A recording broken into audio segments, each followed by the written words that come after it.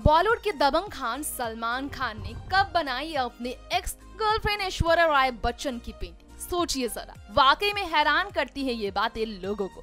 लेकिन तस्वीर अगर आप देखेंगे तो किस तरह सलमान ऐश्वर्या की तस्वीर को निहारते ऐसा लग रहा है, मानो उन्हें पेंटिंग का वो रूप देते नज़र आए हो।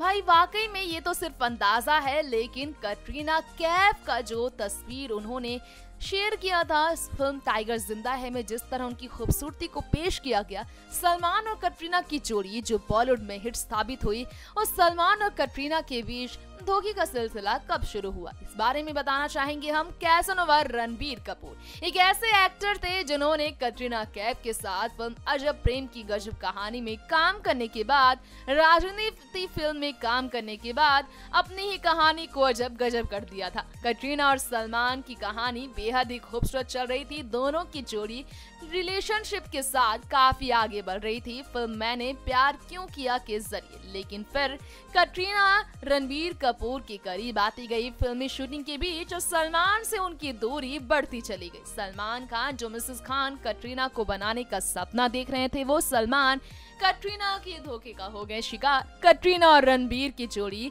वेकेशन ट्रिप से लेकर तस्वीरें वायरल होने के ज़रिए अफेयर को लेकर खूब ज़्यादा चर्चा में रहने लगी। फिर क्या सलमान हो गए कटरीना से दूर, लेकिन प्यार को नहीं कर पाए वो खत्म धोखे का ये बदला तो है जो कटरीना से प्यार तो करते हैं, लेकिन शादी के लिए खुद को फिर से रजामंदी नहीं दे पा रहे हैं सलमान।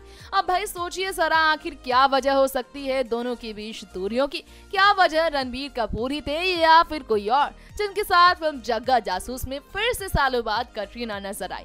ऐसे में कहना गलत नहीं होगा कि वजह कहीं ना कहीं कटरीना सलमान के बीच आज भी रिश्ते में दीवार की, दरार की सिर्फ़ और सिर्फ़ रणबीर के साथ उनकी किसी समय रही नजदीकियाँ ही थी।